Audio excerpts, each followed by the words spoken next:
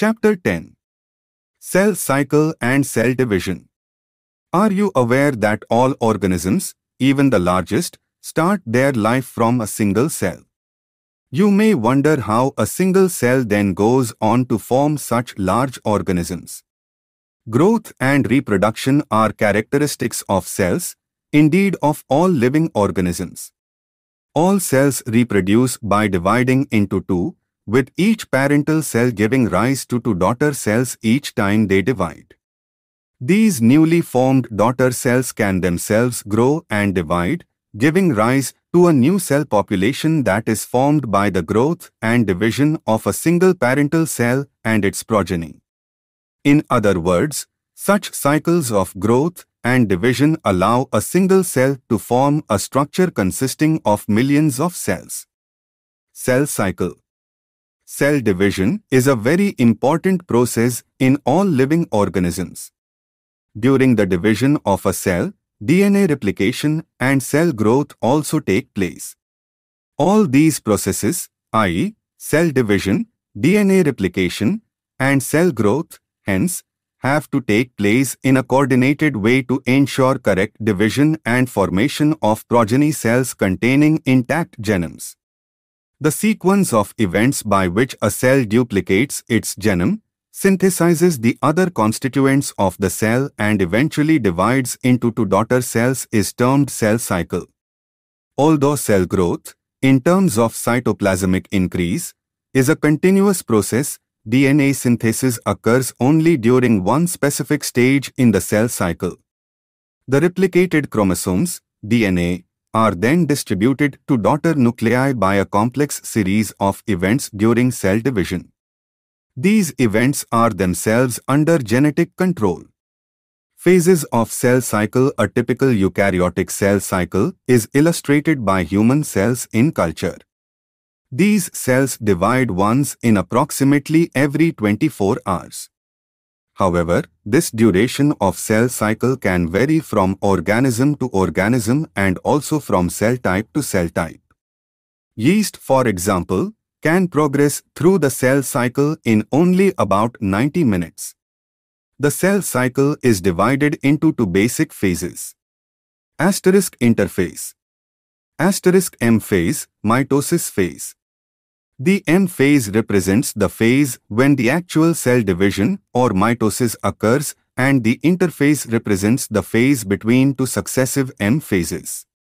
It is significant to note that in the 24-hour average duration of cell cycle of a human cell, cell division proper lasts for only about an hour.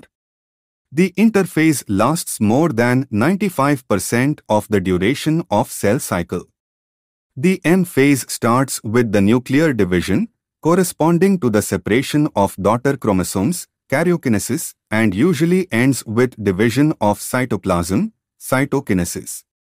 The interphase, though called the resting phase, is the time during which the cell is preparing for division by undergoing both cell growth and DNA replication in an orderly manner. The interphase is divided into three further phases. Asterisk G1 phase, gap 1. Asterisk S phase, synthesis. Asterisk G2 phase, gap 2.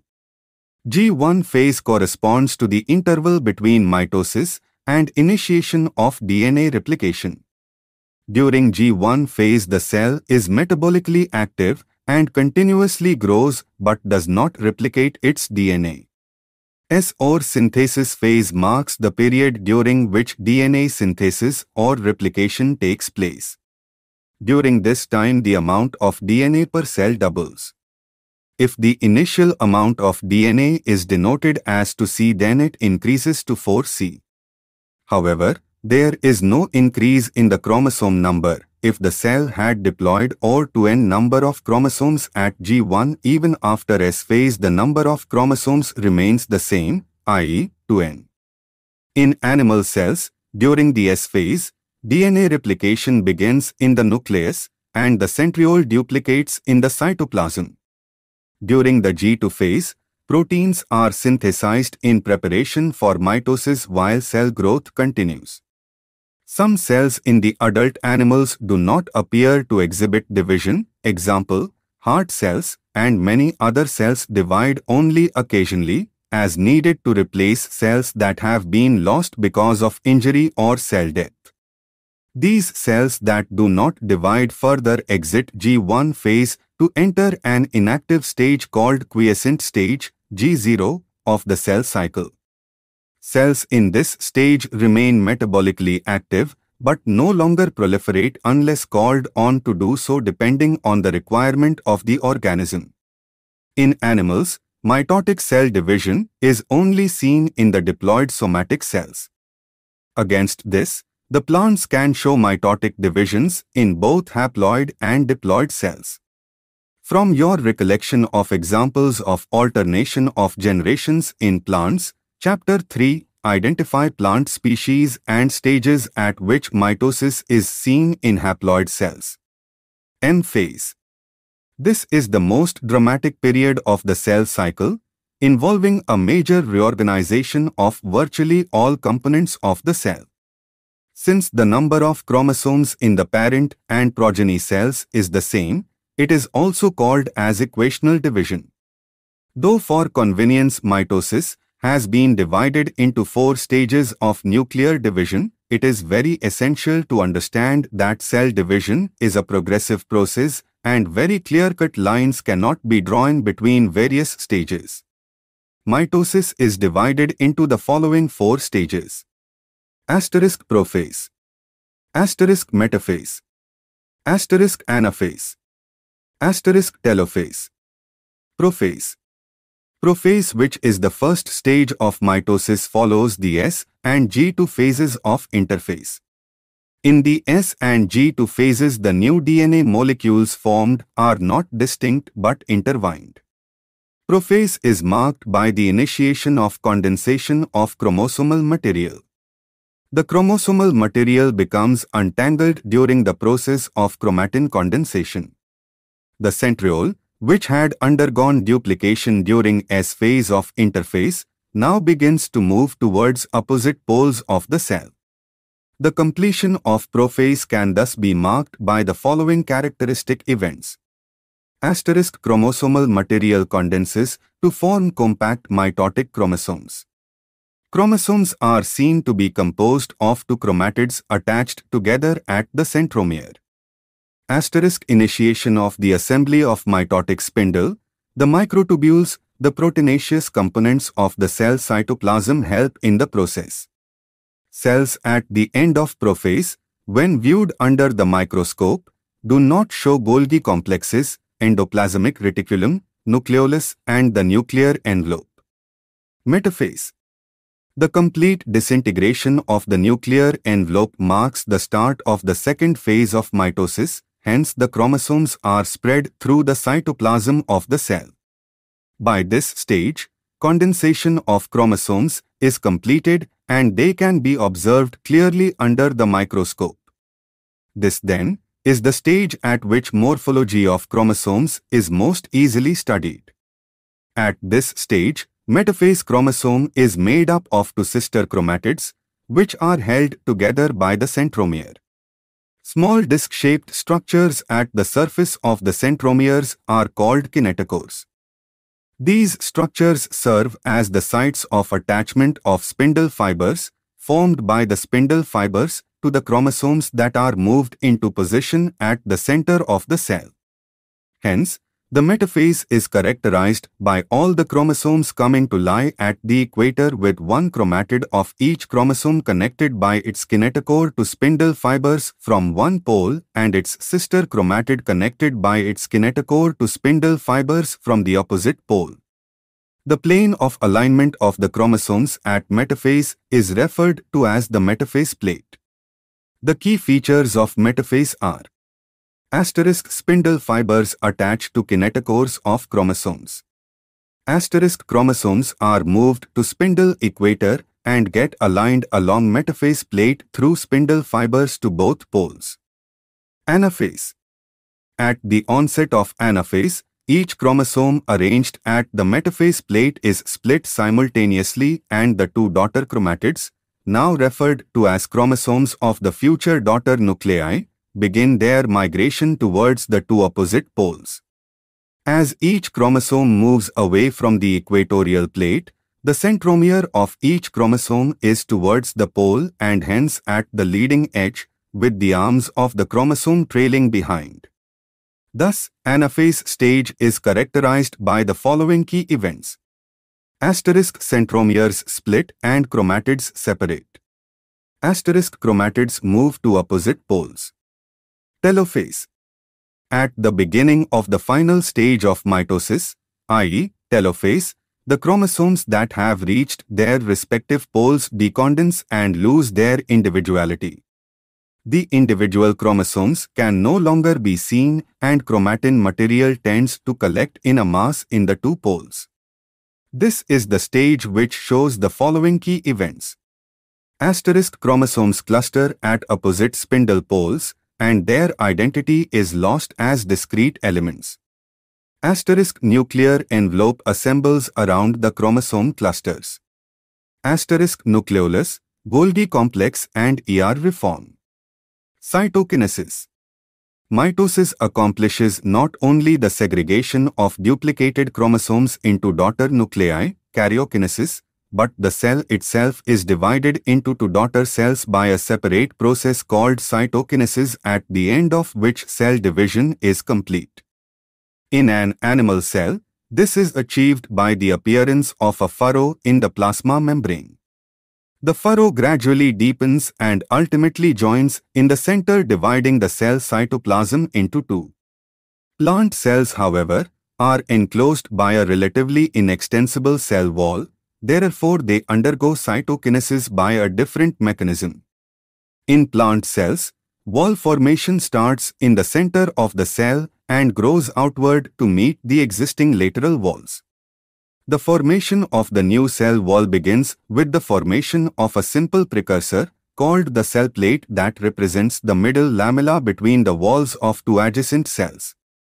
At the time of cytoplasmic division, organelles like mitochondria and plastids get distributed between the two daughter cells. In some organisms karyokinesis is not followed by cytokinesis as a result of which multinucleate condition arises leading to the formation of syncytium, e.g., liquid endosperm in coconut. Significance of mitosis Mitosis or the equational division is usually restricted to the diploid cells only. However, in some lower plants and in some social insects haploid cells also divide by mitosis. It is very essential to understand the significance of this division in the life of an organism. Are you aware of some examples where you have studied about haploid and diploid insects? Mitosis results in the production of diploid daughter cells with identical genetic complement usually. The growth of multicellular organisms is due to mitosis. Cell growth results in disturbing the ratio between the nucleus and the cytoplasm. It therefore becomes essential for the cell to divide to restore the nucleocytoplasmic ratio. A very significant contribution of mitosis is cell repair. The cells of the upper layer of the epidermis, cells of the lining of the gut, and blood cells are being constantly replaced. Mitotic divisions in the meristematic tissues, the apical and the lateral cambium result in a continuous growth of plants throughout their life. Meiosis The production of offspring by sexual reproduction includes the fusion of two gametes, each with a complete haploid set of chromosomes.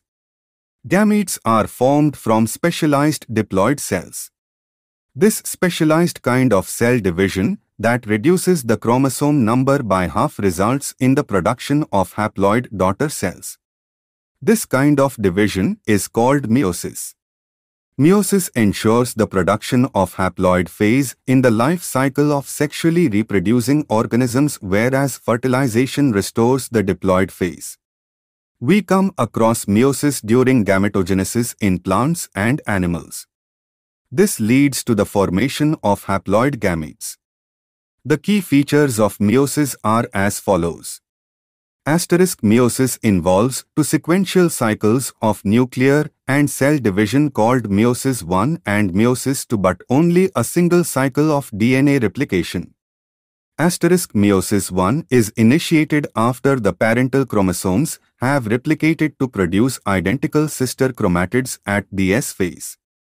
Asterisk meiosis involves pairing of homologous chromosomes and recombination between them. Asterisk 4 haploid cells are formed at the end of meiosis 2. Meiotic events can be grouped under the following phases. Meiosis 1 Prophase 1 Prophase of the first meiotic division is typically longer and more complex when compared to prophase of mitosis. It has been further subdivided into the following five phases based on chromosomal behavior, i.e., leptotene, zygotene, pachytene, diplotene, and diakinesis. During leptotene stage, the chromosomes become gradually visible under the light microscope. The compaction of chromosomes continues throughout leptotene. This is followed by the second stage of prophase 1 called zygotene. During this stage chromosomes start pairing together and this process of association is called synapsis. Such paired chromosomes are called homologous chromosomes. Electron micrographs of this stage indicate that chromosome synapsis is accompanied by the formation of complex structure called synaptonemal complex. The complex formed by a pair of synapsed homologous chromosomes is called bivalent or a tetrad. However, these are more clearly visible at the next stage. The first two stages of prophase 1 are relatively short-lived compared to the next stage that is pachytene. During this stage bivalent chromosomes now clearly appears as tetrads. This stage is characterized by the appearance of recombination nodules, the sites at which crossing over occurs between non-sister chromatids of the homologous chromosomes. Crossing over is the exchange of genetic material between two homologous chromosomes. Crossing over is also an enzyme-mediated process and the enzyme involved is called recombinase. Crossing over leads to recombination of genetic material on the two chromosomes. Recombination between homologous chromosomes is completed by the end of pachytene, leaving the chromosomes linked at the sites of crossing over. The beginning of diplotene is recognized by the dissolution of the synaptonemal complex and the tendency of the recombined homologous chromosomes of the bivalents to separate from each other except at the sites of crossovers. These X-shaped structures are called chiasmata. In oocytes of some vertebrates, diplotene can last for months or years. The final stage of meiotic prophase 1 is diakinesis. This is marked by terminalization of chiasmata. During this phase the chromosomes are fully condensed and the meiotic spindle is assembled to prepare the homologous chromosomes for separation. By the end of diakinesis, the nucleolus disappears and the nuclear envelope also breaks down. Diakinesis represents transition to metaphase. Metaphase 1, the bivalent chromosomes align on the equatorial plate. The microtubules from the opposite poles of the spindle attach to the pair of homologous chromosomes. Anaphase 1, the homologous chromosomes separate, while sister chromatids remain associated at their centromeres. Telophase 1, the nuclear membrane and nucleolus reappear, cytokinesis follows and this is called as dyad of cells. Although in many cases the chromosomes do undergo some dispersion, they do not reach the extremely extended state of the interphase nucleus. The stage between the two meiotic divisions is called interkinesis and is generally short-lived.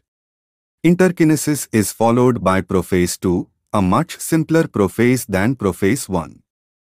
Meiosis 2 Prophase 2, meiosis 2 is initiated immediately after cytokinesis, usually before the chromosomes have fully elongated.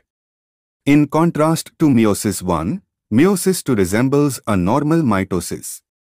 The nuclear membrane disappears by the end of prophase 2. The chromosomes again become compact. Metaphase 2, at this stage the chromosomes align at the equator and the microtubules from opposite poles of the spindle get attached to the kinetochores of sister chromatids. Anaphase 2, it begins with the simultaneous splitting of the centromere of each chromosome, which was holding the sister chromatids together, allowing them to move toward opposite poles of the cell. Telophase 2, meiosis ends with telophase 2, in which the two groups of chromosomes once again get enclosed by a nuclear envelope. Cytokinesis follows resulting in the formation of tetrad of cells i.e., four haploid daughter cells. Significance of meiosis Meiosis is the mechanism by which conservation of specific chromosome number of each species is achieved across generations in sexually reproducing organisms, even though the process, per se, paradoxically, results in reduction of chromosome number by half. It also increases the genetic variability in the population of organisms from one generation to the next. Variations are very important for the process of evolution. Summary According to the cell theory, cells arise from pre-existing cells. The process by which this occurs is called cell division. Any sexually reproducing organism starts its life cycle from a single-celled zygote. Cell division does not stop with the formation of the mature organism but continues throughout its life cycle. The stages through which a cell passes from one division to the next is called the cell cycle. Cell cycle is divided into two phases called I. Interphase, a period of preparation for cell division, and 2. Mitosis, M phase, the actual period of cell division. Interphase is further subdivided into G1S and G2. G1 phase is the period when the cell grows and carries out normal metabolism. Most of the organelle duplication also occurs during this phase. S phase marks the phase of DNA replication and chromosome duplication. G2 phase is the period of cytoplasmic growth. Mitosis is also divided into four stages namely prophase, metaphase, anaphase and telophase. Chromosome condensation occurs during prophase. Simultaneously, the centrioles move to the opposite poles. The nuclear envelope and the nucleolus disappear and the spindle fibers start appearing. Metaphase is marked by the alignment of chromosomes at the equatorial plate. During anaphase the centromeres divide and the chromatids start moving towards the two opposite poles. Once the chromatids reach the two poles, the chromosomal elongation starts, nucleolus and the nuclear membrane reappear. This stage is called the telophase. Nuclear division is then followed by the cytoplasmic division and is called cytokinesis. Mitosis thus is the equational division in which the chromosome number of the parent is conserved in the daughter cell. In contrast to mitosis, meiosis occurs in the diploid cells, which are destined to form gametes. It is called the reduction division since it reduces the chromosome number by half while making the gametes. In sexual reproduction, when the two gametes fuse the chromosome number is restored to the value in the parent. Meiosis is divided into two phases, meiosis 1 and meiosis 2. In the first meiotic division, the homologous chromosomes pair to form bivalents and undergo crossing over. Meiosis 1 has a long prophase, which is divided further into five phases. These are leptotene, zygotene, pachytene, diplotene and diakinesis. During metaphase 1 the bivalents arrange on the equatorial plate. This is followed by anaphase 1 in which homologous chromosomes move to the opposite poles with both their chromatids. Each pole receives half the chromosome number of the parent cell. In telophase 1, the nuclear membrane and nucleolus reappear. Meiosis 2 is similar to mitosis during anaphase to the sister chromatids separate. Thus at the end of meiosis four haploid cells are formed.